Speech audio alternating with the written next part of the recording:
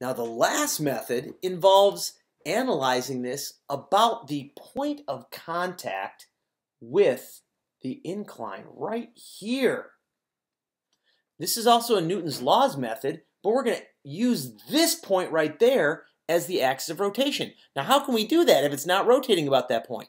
Well, guess what? Take a look at this. So what I've got right here is a little, uh, this piece of tape is, you can see that it's rolling. I've got this little piece of tape rolling along this book right here. You guys see that?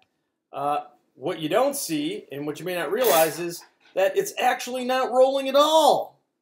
This, I've got this attached to a stick. It's actually rotating around the stick. But what is true is that instantaneously, the motion of rolling, like rolling down this hill, is identical instantaneously to the motion of orbiting around this axis. See, I've got this, this stick right there, and orbiting around that axis is identical to rolling for one instant. You can see, kind of looks like rolling when I do this, rotate it does look exactly like rolling there. So for that one instant, those motions are identical. So we have found that it in fact is rotating about that point. It can be considered as such. So that's our new axis of rotation. Now the thing is, our I about the center of mass of the sphere is 2 fifths mr squared, which would have to be given to both uh, AP Physics 1 and 2 and AP Physics C.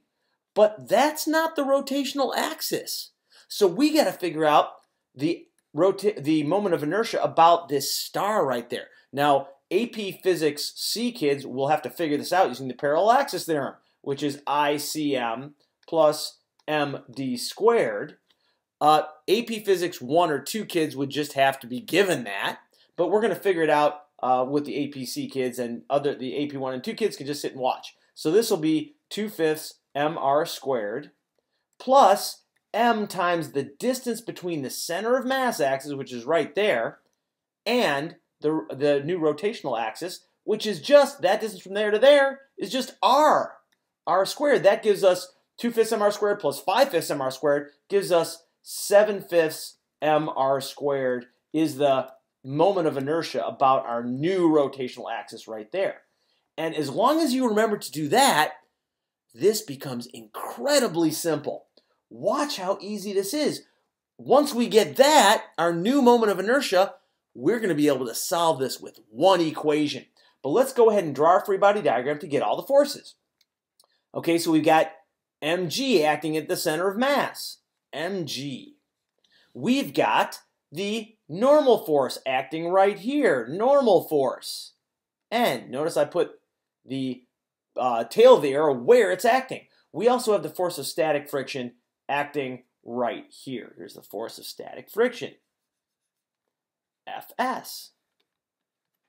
Now, about our new axis of rotation right here, reminder, what can we say about the torque that these forces exert?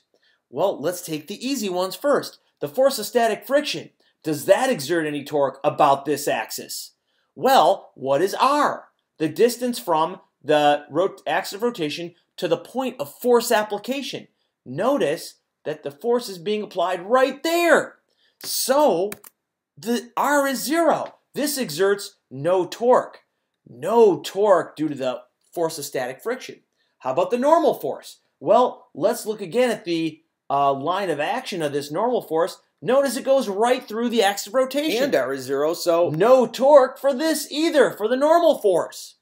No torque. So the only force that can exert a torque is mg. That can exert a torque. So notice that I'm, and you'll you'll notice I'm about to skip the translational analysis. Turns out we don't need it. Let's just look at rotational. All we got to do is the net torque about our star axis equals I about our star axis times alpha about that axis. So here is our alpha right here. I'm going to draw it like this. If it's rotating about this point, alpha is kind of like this. It's rotating like that.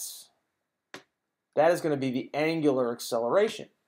So let's go ahead and figure out what the torque is uh, torque, the only force that's exerting a torque is the force of gravity. So it's just going to be the torque of gravity equals I about the star axis times alpha.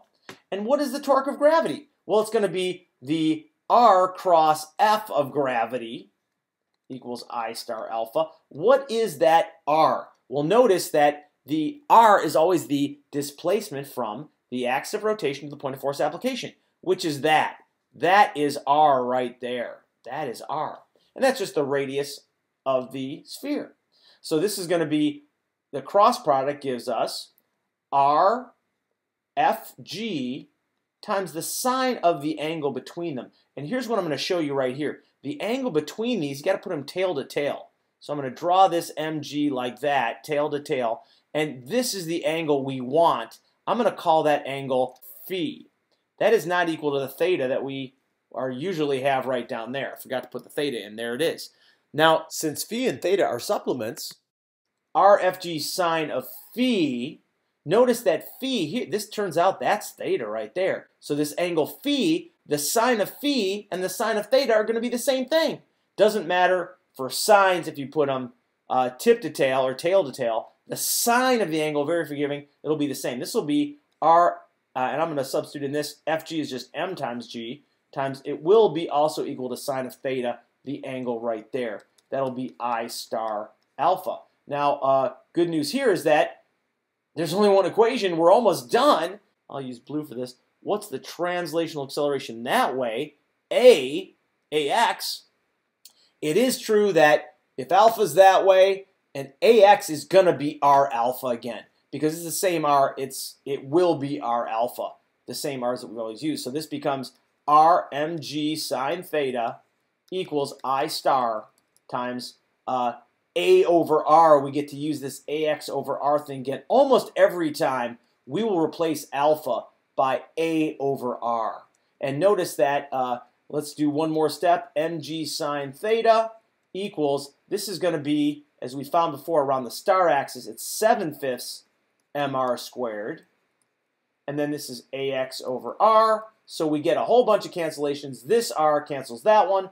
This r cancels the other one. The masses don't matter. Put the 5 sevenths on that side. We get 5 sevenths g sine theta equals ax. Now, personally, I think this is the easy method. It really only involves solving one equation. The one trick is you either got to determine the moment of inertia about that contact point axis, or if you're in the AP Physics 1, you'd have to be given it.